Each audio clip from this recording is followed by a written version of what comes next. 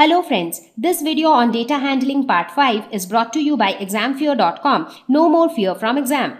Let us now talk about the various types of graphs.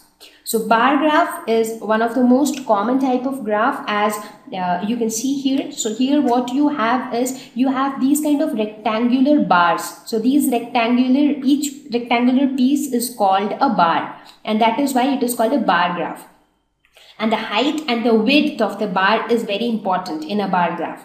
The next type of graph is a line graph, the one which we drew in the previous slide, where you first jot down the points and then you join the points to make lines. And looking at the lines, like if it is growing or if it is coming down or if it is remaining constant, looking at the pattern of the lines, you can interpret the graph.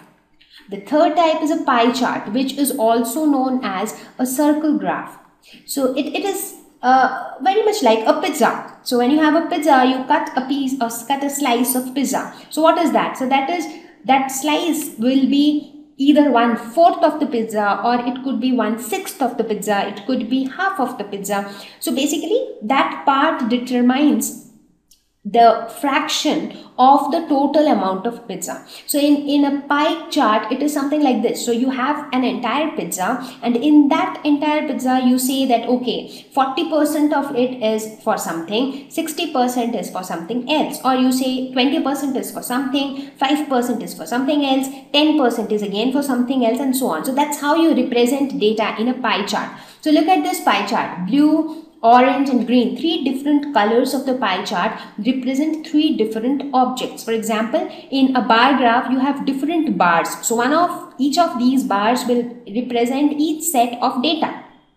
Here, each part of the pie chart would represent uh, each section of data. Now, we will spend enough time to understand how do we draw graphs. How, we will also understand in detail about the pie charts. So let us see how do we represent using different graphs. So when it comes to a bar graph, now the beauty of the bar graph is that you have we actually draw rectangles for each set of data. So when you look at this rectangle, this is the height of the rectangle. So this height of the rectangle actually gives us the the value on the y-axis. For example, in this case, if we are drawing a bar graph for number of students versus their favorite fruits. So what do we see? Fruits is taken on the x-axis and number of students is taken on the y-axis. So you see the height of this bar tells you the number of students who like apple.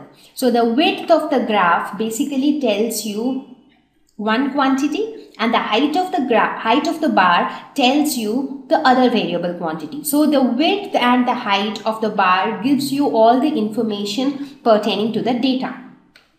Now when you try to draw the same graph or when you try to represent the same data using a pie chart or a circle graph this is how it looks like. So you see here apple is being liked by 50 that means almost in fact more than half of the people. So here it seems to be 50, but exactly it is like What about bananas? So when you look at banana, you see it is liked by 20 people.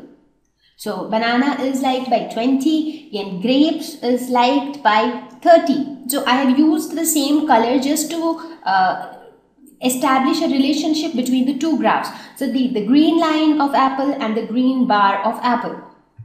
So 50 banana is 20, grapes 30 and mangoes 40.